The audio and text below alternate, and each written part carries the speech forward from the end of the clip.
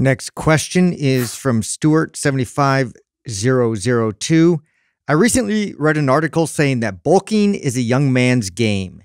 Is there any age where you would recommend, not recommend, eating in a caloric surplus? Okay, so uh, this I don't read this article, but it's probably referring to the type of bulking that uh, is the wrong way to bulk, right? The, yeah. the, the way that you bulked when you were younger, when you didn't track, just high calories, like all means necessary. Yeah, let's see how much weight I can gain, and let's see how much I can eat. So that, yeah, I agree. You get away with that when you're young, because when you're older and you eat in a ridiculous surplus with a bunch of garbage food, you're going to damage your health probably a lot more. But in terms of bulking the right way, right, which is eating in a surplus to gain muscle and strength or to reverse diet to get the metabolism to boost, that works for anybody. I don't care what age you are, I don't care how old you are.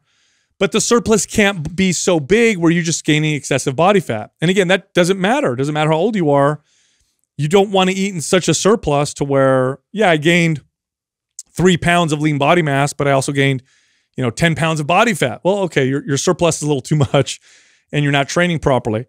I like to keep, I like to make sure that the, the weight that my clients would gain through a bulk was almost all muscle. Now, inevitably, depending on the person, they would gain some body fat, but it, it, it couldn't make up more than 10 or 15% of the total weight that they gain. It's like if, if you gain 10 pounds and, you know, five of it's body fat, like your, your, your surplus a little too high. I mean, I, would like to read this article, but uh, I'm willing to. I mean, I I can get behind it because I'm willing to bet their angle they're taking is just bulking looks different today at 40 than when it did at 25 for me. Sure. And a lot of that has to do with just my movement.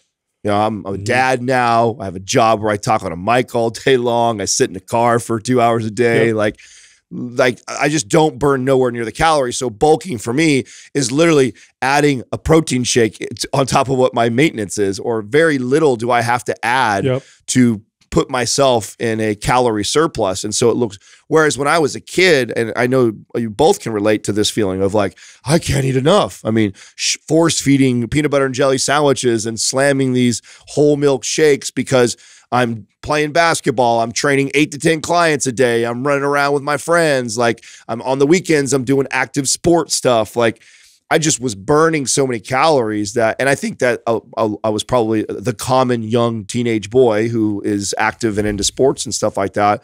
You just burn a ton of calories. And so I think that's, where probably this is coming from. And then as you get into your 30s and 40s and beyond, there's very few men at that age are probably moving as much as what you were when you were 20 years old. Yeah. And also when you're younger, your training program, at least mine wasn't as smart. I didn't understand. I overtrained often. I went to failure on my lifts too much, did too much mm-hmm. with my workouts. So my workouts weren't sending the best signal. So it was all about how many calories I could get in to see the scale move. And I also didn't care if it was body fat or muscle because I grew up skinny. Mm-hmm. For me, like a pound on the scale was a pound on the scale, and I didn't care. So I, you know, my decisions were like, oh my god, I'm so stuffed after lunch. How can I force more calories in? Oh, I'll eat a bag of Skittles, or I'll drink some Coke, right? Um, or I'm going to go to the fast food place and supersize everything, and then I'll get those extra calories.